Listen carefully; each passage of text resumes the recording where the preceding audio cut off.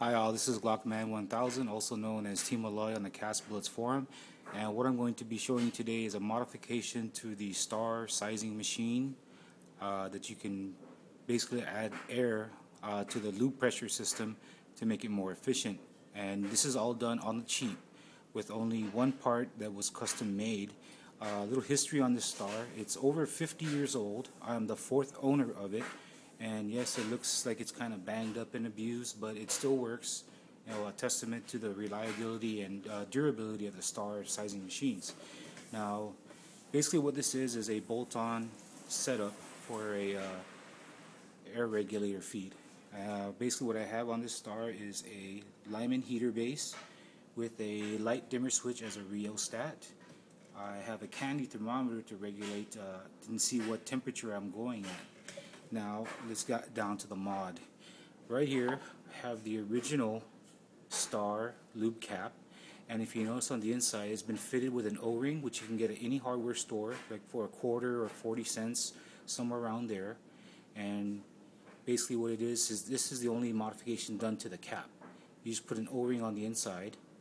And right here on the top the threads are 5.8 by 18 this is a 5.8 fine thread uh, in here on the top where the extractor and the plunger rod goes. And uh, I have some other stuff here. Uh, these are my uh, custom top punch from Lathe uh, Chris Smith on the uh, Cast Boolits forum. He makes these excellent star dies. Right there you can see that. Size 358 since I was sizing some 357s. Okay, and I just you should put these in here. Here's one thing you might want to use. This is basically, this is not electrical tape. Uh, it actually it is, but it's what they call rubber splicing tape. This is what you usually wrap a large cable around with before you cover it with regular vinyl electrical tape. Uh, I use this because on the Star, uh, anyone familiar with it knows that there is a uh, vent port for the uh, to vent excess air inside the tube. What I basically did was wrapped it around with that rubber splicing tape, about two or three wraps, and then I use a hose clamp. It's a, I believe this is about it reaches up to an inch and a quarter, so it's really snug. You, it doesn't take up a lot of space, and it doesn't interfere with the motion of the star. Okay, now uh, we'll get down to what basically the modification is, which is this bolt. This is a 5.8 by 18 bolt. It was originally an inch and a half, and what we did was we bored it out on a lathe, and it's been chamfered, and this has been opened up here to accommodate the plunger on top. Then on the top is a, it's been fitted with a quarter inch air fitting so we can hook up an air regulator to it. Now basically let me go ahead and do a quick setup of how this looks. Uh, the star, I just filled it up with a brand new uh, tube of lube. I'm using Magna Cast lube. It's kind of hard to see because it's down in there. I'm using the red hard lube. So what I'm going to do is we're going to go ahead and put the uh, plunger in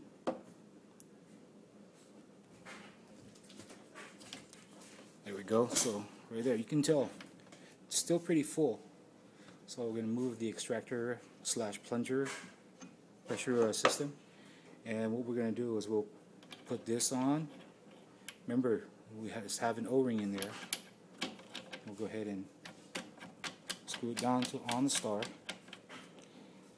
And then you can feel the O-ring. It'll start to tighten up and you don't have to over tighten it. Just get to the point where it feels like it's nice and stable and get this bolt right here. Oh, one thing about this bolt, it's been bored out, and also uh, we there was a little lip here done by my friend Rudy Rapadas. He has a lathe and a milling machine, and he, we like to dabble with this kind of stuff. And he pays, we basically put an O-ring over this part of, of the on the inside of the threads of the bolt. What that does, it also seals up the air underneath the bolt. So when you screw this in, it makes it airtight. You can also feel the O-ring tightening there. Now, here's where everything else comes into play. Uh, you fit an air regulator to it. This is purchased at Home Depot, but you can also, I'm pretty sure you can get this at like uh, Harbor Freight for a lot cheaper price. Basically, most of the fittings, you can get the, uh, what do you call it, the uh, O-rings at any hardware store pretty much, and if you notice, it's already on there. This is just for demonstration. This is a proof of concept. Uh, Frozone from the Cast Boolits forum, he mentioned something about this, and I decided we'll try and actually go for it and try it out. Um, right now, we've got uh, a few things. Uh, Frozone, he goes by the name of James Connell. So I'm using his uh, idea as a proof of concept. Now, what I want to do here is, this is not secured yet, but I want to go ahead and show what this can do. I've already preheated my base. It's got a brand new tube of, uh, or a brand new stick of uh, Magma hard lube, and I'm going to go ahead and hook up some air to it so we can uh, go ahead and see how the system works. Okay, here we go. We got a air fitting on there. Uh, this is a temporary air fitting. I intend to put the multi-swivel type so I can get this hose out of the way so when you're sizing you don't run into much of a problem. Now the regulator helps you control air pressure of course. Let me get that up, we'll dial it up. There we go. So I've got it showing at about 30 pounds but we don't need that much since we're using a hard lube. And it's heated so I'm going to set it to about 20 pounds. Now here we go. I want to go ahead and show you that there is a little bit of lube coming out of there. Let's just push that out of the way give you an idea. There we go, little worm here. Now, we've got a pressure to the system, so let's try it. And there you have it. Now you have to remember, there was no pressure inside the tube until I added air. And that's and the uh, plunger, you saw me put it in. And I didn't even tighten this yet over here on this part here. I haven't tightened it yet, so I can tell I'm getting a good seal and the vent port is not leaking so I don't hear anything and let's see we'll just try it keep going. If you notice over there see I'm getting a whole bunch of lube curled up in there. There let's see. And of course this is hard lube but it's already softened up enough so I can use some air pressure to push it. So basically instead of using the uh, let's just crank that up. Give you an idea. If we try and crank it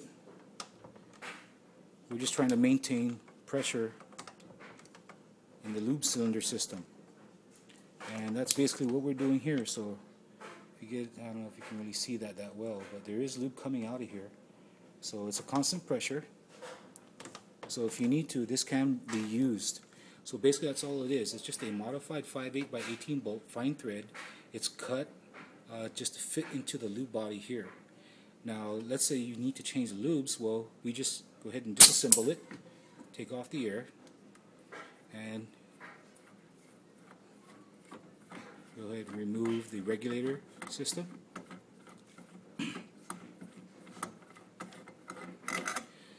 Put that aside.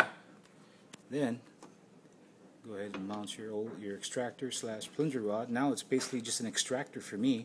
I just use it for taking out the plunger when I need to refill lube. So let's get that out of there. And you nice hear that nice solid pop. So that means it was it was had a good seal.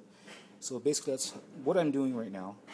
And I'm pretty sure that people that are interested in a system like this, uh, if you're probably to buy it at Home Depot, uh, you could get the regulator which was like $16 at uh, Home Depot. This quarter inch fitting was like a buck 99 at Home Depot, and this swivel fitting was 229. So you're looking at about hmm, maybe $21 for these parts. The O-rings will cost you maybe about a bucket and a half. That's about it. You could always modify it to suit your needs, but main thing that you need here is this bolt.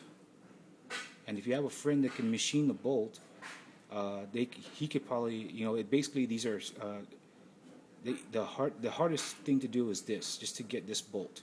I'm just glad that I have a friend that has a lathe and uh, he has a like a little machine shop in his place and he said he wanted to try it too and I'm pretty sure when if he decides to get another star again he'll probably do the same thing. So this is like a poor man's uh, basically a poor man's budget uh, air pressure system for the star uh, lube sizers uh, that's about it. And if you have any questions, just leave a, leave me a, a message, and I'll get back to you as soon as I can. All right. Uh, have a everybody shoot safe and be careful when you're out there. See ya.